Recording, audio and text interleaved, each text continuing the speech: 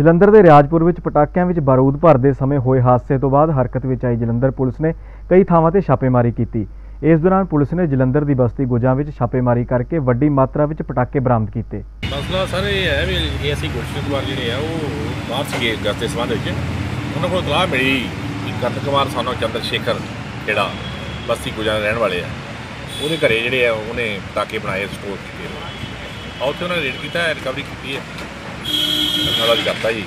ਤੇ ਦੋਸ਼ੀ ਜਿਹੜਾ ਉਹ ਘਰ ਹੈ ਜੀ ਉਹਨੂੰ ਗ੍ਰਿਫਤਾਰੀ ਬਾਕੀ। ਹੈ। ਸਰ ਕਿੰਨਾ ਕੁ ਪਟਾਕਾ ਮ- ਸਮਾਨ ਬਰਾਮਦ ਹੋਇਆ?